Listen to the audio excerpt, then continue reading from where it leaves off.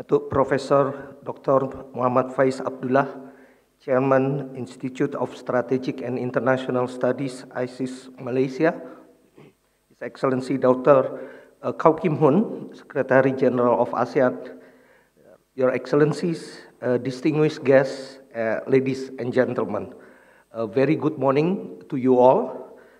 I'm honored to be here uh, to represent ASEAN ISIS Network uh, to welcome you to the 37th Asia Pacific Roundtable. ASEAN ISIS is very grateful uh, to be an integral part of the APR. Thanks, of, of course, to the productive collaborations uh, with the ISIS Malaysia.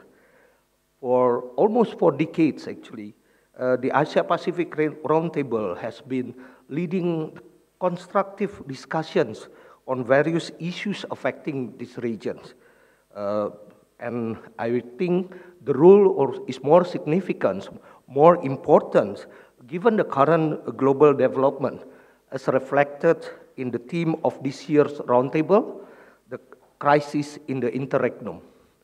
If you uh, have time to look at a dictionary, one explanation of interregnum is a period of during which normal functions of government or controls are suspended it basically highlights the critical conjectures of our situation today when the world confronts a period of instability between established structures and also the possibility of the emergence of a new one.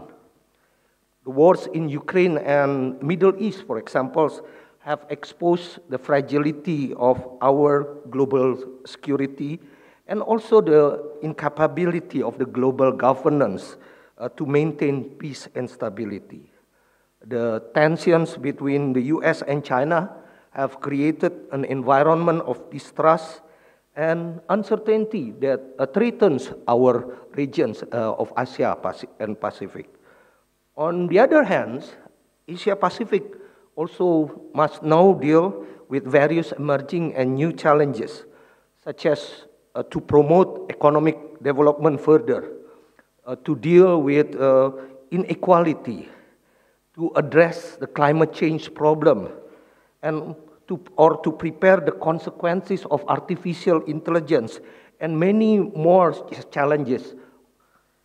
Yet, amid these challenges, actually the Asia Pacific boasts the world's fastest growing economies fueled by innovations uh, and burgeoning middle class. The region also uh, poised to become the world's largest fintech market and potentially to shape the course of global development. So Asia Pacific has a potential uh, to become a leader in forging new world order uh, in this transition time. The region can champion multilateralisms, work towards uh, peaceful resolutions of conflict, and promote sustainable development goals that brings benefit for all. However, uh, this region, Asia Pacific, needs a platform and institutions to achieve those aspirations. And this is uh, where I think uh, ASEAN comes in. As regional institutions, ASEAN holds immense potential to shape the course of history uh, during this interregnum. Uh, despite its modest, modest size, the group is the only organization with the agency and potential to shape outcomes in the Asia Pacific and beyond. ASEAN commitment uh, to regional cooperations, for example, OVER's model of peace, for peaceful conflict resolutions on the world stage. ASEAN also has some underutilized uh, platforms that can be used to amplify the, uh, this message. For example, the East Asia Summit, uh, which basically brings together leaders uh, from East Asia and also Pacific countries. That can be a starting point uh, to discuss about or, or, the developments and how to find solution to the challenge. In the economic area, RCEP could also promote comprehensive concept of economic security and resilience. uh, which actually perceive inclusive economic integration and interdependence as sources of greater prosperity, not sources of weakness. But of course, to fully realize all this potential, uh, ASEAN must address many critical issues. Uh, ASEAN countries, um, ASEAN member countries need to boost uh, its international, internal cohesion. ASEAN must also continue to strengthen economic integration. Uh, ASEAN need to foster deeper political ties and presence unified front on many critical issues.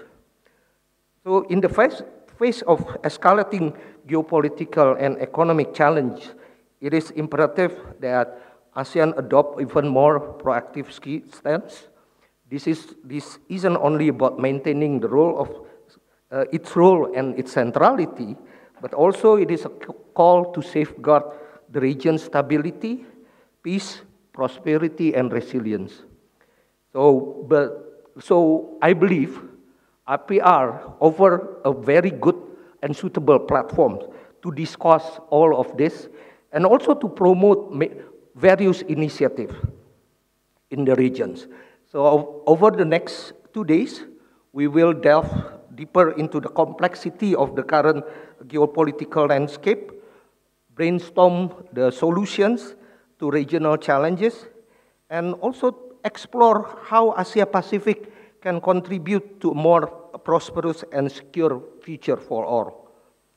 With that, uh, I would, would like to wish you all very productive discussions, and I eagerly await your valuable insights and contributions at, uh, in this forum.